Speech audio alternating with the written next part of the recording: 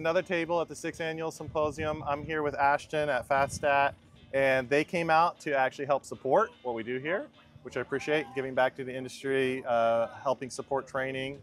So I wanted to give you a chance to show what you have for people that aren't here and maybe would miss it. Um, what do you have on the table? What do you guys do? Who are you? No, thank you. We're happy to be here. So what we are is an HVAC um, solution if you're trying to add a wire or upgrade different equipment. So think about the situation where you're running into like a broken wire or in this place where you just can't really run a new cable in a quick and efficient way, that's where we come in. So we have a product line that ranges from really simple kind of a common wire additions all the way up through a little bit more complex cases where now we're thinking about maybe adding some heat, to put heat pump equipment or something that requires a little bit more um, complexity. What kind of application? Talk a little bit more about that. What problem are you solving with it? It really just comes down to efficiency and time. Mm -hmm. um, so this is a product that a lot of guys just stock on their truck.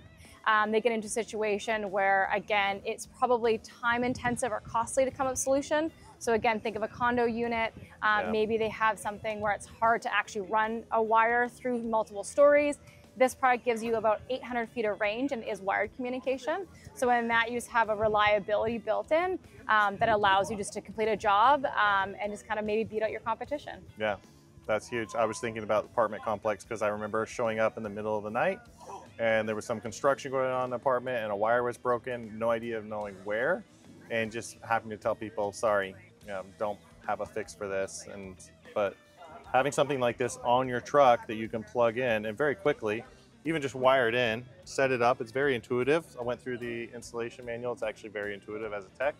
Easy to install um, and set up. So that's great.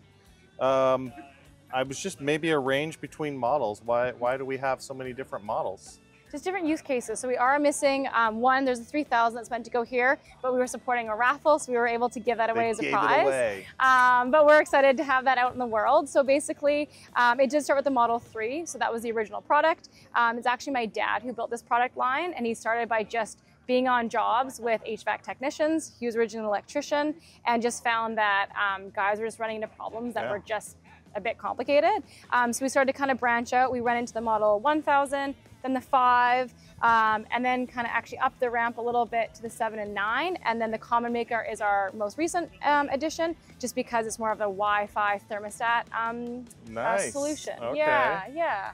Okay, so you can actually still have a Wi-Fi thermostat. Exactly. And have all this. Okay. I love this because um, being able to put a thermostat where you realize it's actually a little bit better location here. Mm -hmm. I don't have to run a wire, or maybe running a wire is even possible.